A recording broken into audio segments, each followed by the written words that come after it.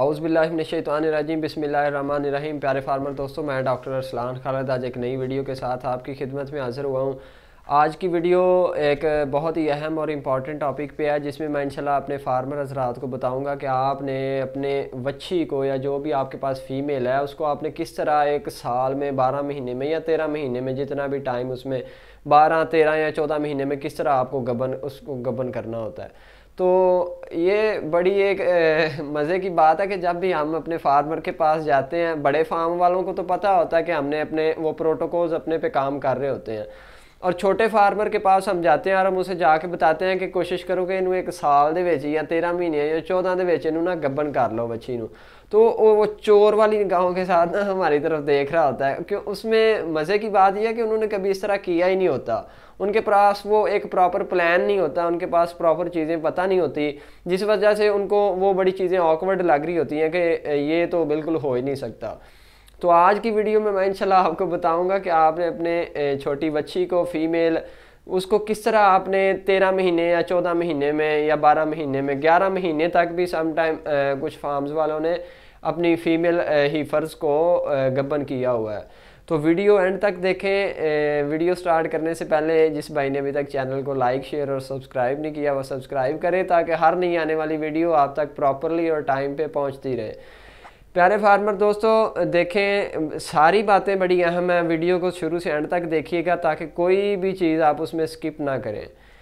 लेकिन जब बच्चा आपके पास पैदा हो के आ गया ना तो फीमेल है। अगर वो तो उसका एक आपके पास प्रोटोकॉल होना चाहिए कि आपने उसको कितने टाइम में उसे गब्बन करना है। और उसे गब्बन करने का प्रोटोकॉल है, उसमें आपने दूध देना है, उसको उसमें आपने डिवर्मिंग करनी है, वैक्सीन करनी है काफ स्टार्टर देना है उसको। उसके बाद उसको प्रॉपर न्यूट्रिशन देंगे तो बेशक वो ग्यारह महीने में गब्बन हो जाए। तो वीडियो में मैं इंशाल्लाह आपको बताने जा रहा हूँ कि आपने कौन कौन से फार्मूले इस्तेमाल करने हैं और कौन कौन से आपने काम करने हैं जिससे आपका जनवर तेरह, चौदह या जितना भी टाइम है उसमें गब्बन हो जाएगा। सबसे पहली चीज़, प्यारे फार्मर दोस्तों, एक समझें कि जितने भी छोटे बच्चे होते हैं, काफ होता है जो उसका चार बेसिकली मैदे के हिस्से होते हैं। जो बड़ा जानवर है, उसके मैदे के चार हिस्से होते हैं, उसमें एक र्यूमन रेटिकुलम ओमेजम और एबोमेजम लेकिन जब बच्चा पैदा हो के आता है तो उसका सिर्फ़ एक चौथा हिस्सा जो एबोमेजम होता है, उसकी डेवलपमेंट हुई होती है, वो प्रॉपर एक एबोमेजम होता है। उसके अलावा कोई चीज़ जानवर के तीनों हिस्से बिल्कुल नहीं बने होते। और वो कब बनते हैं, वो जानवर की पैदाइश के बाद जब वो बच्चा आ जाता है तो फिर उसके बाद वो उसके हिस्से डिवेल्प होना शुरू होते हैं। वो होते हैं, लेकिन वो प्रॉपर वर्किंग नहीं कर रहे होते, छोटे होते हैं। तो उसको, वो खुराक आपने इस तरह की देनी होती है, या बाकी चीज़ें आपने उसको इस तरह की देनी होती है कि जिससे उसकी प्रॉपर वो र्यूमन की डेवलपमेंट होती है। दूसरी चीज़, बड़ी अहम चीज़ क्या है कि जो भी चारा होता है ना, जो भी चारा है, उसकी हाजम वो कौन सी जगह पे जाके होना होता है, वो र्यूमन में एक मैदे का हिस्सा होता है र्यूमन मैदा है। तो उसमें जाके चारे ने हजम होना होता है। लेकिन जब र्यूमन डेवलप ही नहीं हुआ अभी, यानी कि देखें ना, अभी बच्चा पैदा हो गया और आप उसे चारा देना शुरू कर दिया आपने तीसरे दिन, चौथे दिन या पाँचवें दिन तो अभी तो र्यूमन तो उसका डेवलप नहीं हुआ। जिधर उसमें जाके हजम होना है चारे में तो फिर वो क्या होगा? वो पेट लटक जाएगा, वो ढोल बन जाएगा, वो आपकी, उसकी ग्रोथ नहीं प्रॉपर हो रही होगी। तो इसके साथ क्या होगा? आपके जो टारगेट्स हैं वो डैमेज हो जाएँगे। जो टारगेट्स आपने रखे हुए हैं कि मैंने तेरह महीने में या बारह में या ग्यारह में उसको गबन करना है तो फिर वो आपके डिस्टर्ब हो जाएँगे। हुए किस वजह से हैं कि आपने वो प्रॉपर उसे फ़ीड प्लान नहीं दिया? तो ये सारी चीज़ें आगे डिस्कस करने जा रहा हूँ मैं। आपको एक फार्मूला बताऊँगा कि कौन सी खुराक आपने इस्तेमाल करनी है तो जानवर का मैदा डेवलप होगा। कौन सी खुराक आपने नहीं इस्तेमाल करनी, दूध आपने कब तक इस्तेमाल करना है, पानी आपने कब स्टार्ट करना है छोटे बच्चे को, आपने काफ स्टार्टर उसमें कब इस्तेमाल करना है, कब तक इस्तेमाल करना है, और कौन सा क्राइटेरिया होता है जिधर जाके जानवर एबल टू ब्रीड हो जाता है, यानी कि आप उसमें इंसेमिनेशन कर सकते हैं पहली। तो ये चीज़ें सारी एक वीडियो में तो नहीं बयान हो सकती तो मैंने अलहदा इसकी वीडियोस बनाई हुई हैं, इंशाल्लाह वो भी जल्दी अपलोड हो जाएँगी। देखते रहा करें, चैनल के साथ जुड़े रहा करें, ताकि मुफीद इन्फॉर्मेशन और अच्छी इन्फॉर्मेशन जानवरों से रिलेटेड आप तक पहुँचती रहे। प्यारे फार्मर दोस्तों, देखें जानवर जब बच्चा पैदा हुआ है तो एक काफ स्टार्टर आप उसमें यूज़ करते हैं। वो काफ स्टार्टर का मैं फार्मूला आपको भी बताने लगा हूँ कि काफ स्टार्टर आपने किस तरह इस्तेमाल करना है। कौन कौन सी चीज़ें उसमें आपने मिक्स करनी है ताकि आप उसमें हंड्रेड परसेंट रिज़ल्ट ले सकें प्रॉपर उसकी ग्रोथ ले सकें प्रॉपर उसका मैदा डेवलप हो और आपके टारगेट्स पूरे हो जाए। इसके साथ काफ स्टार्टर के साथ आपने दूध नहीं बंद करना होता। दूध आपने जानवर को, छोटे बच्चे को वैसे ही देना होता है। सम टाइम ये दूध पे मैंने एक प्रॉपर वीडियो बनाई हुई है कि छोटे बच्चों को किस हद तक कौन से टाइम तक और कितना कितना दूध आपने देना है, कौन से टाइम में आपने दूध कितना देना है, फिर आपने उसको इंक्रीज़ करते जाना है और फिर आपने किस तरह उसको नीचे लेके आना है। कुछ बुक्स तो लिखती हैं, चार महीने तक रिकमेंडेड चार महीने तक आपने दूध का इस्तेमाल करना होता है छोटे बच्चे को। और कुछ बुक्स लिखती हैं कि आप तीन महीने तक भी अगर आपके पास दूध कम है तो आप तीन महीने तक भी उसका इस्तेमाल कर सकते हैं, उससे भी उसकी डेवलपमेंट जो है प्रॉपर हो जाएगी। तो काफ स्टार्टर का इस्तेमाल आपने लाजमी करना है। देखें एक चीज़ें प्यारे फार्मर दोस्तों अपने जहन में रखें कि जानवर का जो मेदा है ना र्यूमन जिसकी जिस पे सारी आज बात हो रही है, जो मेदा बड़ा र्यूमन होता है, जो साइड पे जिन्होंने तुम कहते हो कि डॉक्टर साहब इन्हें वक्खी नहीं भरी, वो वक्खी भरने से मुराद ये होता है कि इसका र्यूमन नहीं फिल हुआ। तो वो र्यूमन तो तब भी फिल होगा जब वो डेवलप होगा। वो बड़े जानवर का तो डेवलप हो रहा होता है। उसमें आप कह देते हैं कि वक्खी नहीं, उसमें प्रॉपर फिल हुई। तो छोटे बच्चे का भी वो वक्खी वाला वो जो मैदा का हिस्सा ना, वो अभी डेवलप नहीं हुआ होता।